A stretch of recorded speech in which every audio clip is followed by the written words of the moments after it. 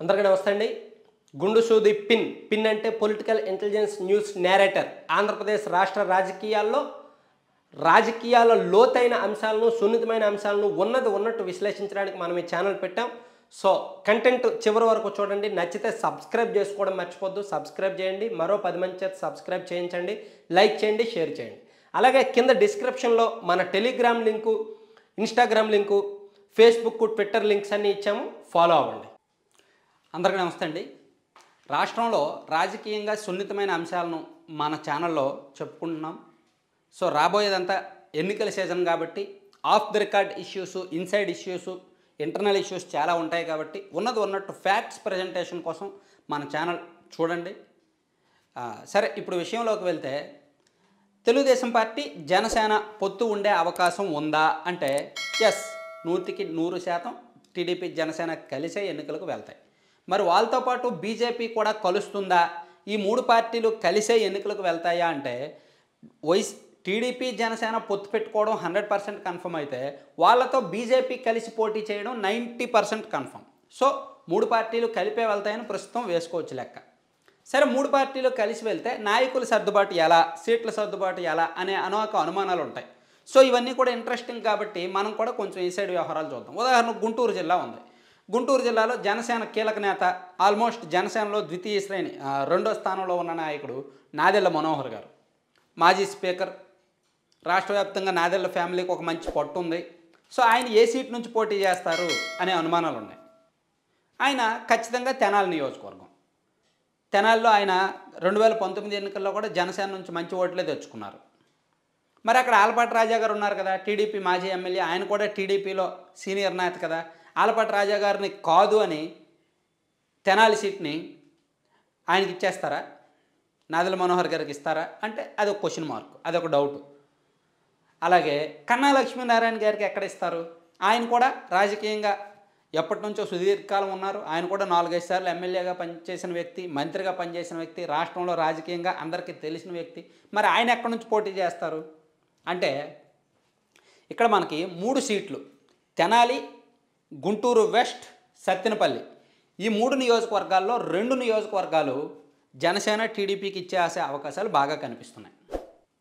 Guntur west Tenali అలాగే Sattenapalli so ఒకవేళ నాదెల్ల మనోహర్ గారు పోటీ చేస్తే నైంటీ నైన్ పర్సెంట్ తెనాలి నుంచే పోటీ చేసే అవకాశం ఉంది.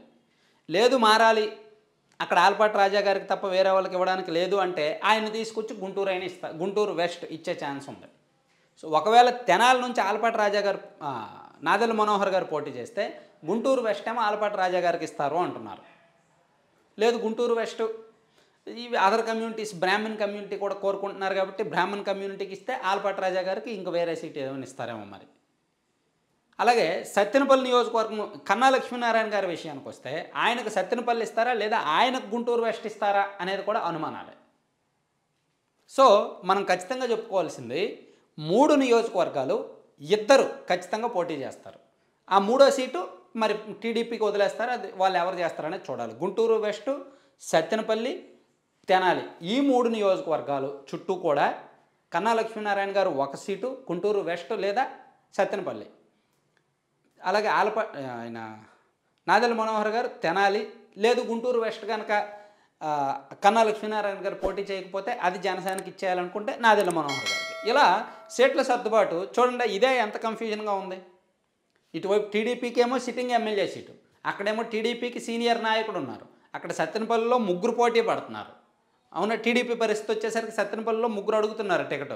వాళ్ళ ముగ్గురికి కాదని వేరే వాళ్ళకి ఇస్తే ఎలా ఉంటుందో?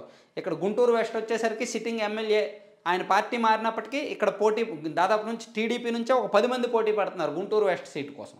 అలాగే తెనాలేమో సీనియర్ నాయకుడు. ఇలా ఒక్క గుంటూరు జిల్లాలోనే ఒక్క మూడు సీట్లలోనే ఇంత వ్యవహారం ఇంత తతంగం ఉందంటే ఇంకా మిగిలిన జిల్లాల్లో పరిస్థితి ఎలా ఉంటుందో అర్థం చేసుకోండి.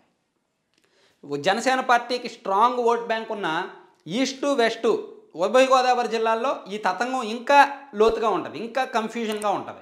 కాబట్టి సీట్ల సర్దుబాటు అనేది అంత ఈజీగా జరిగే పని కాదు.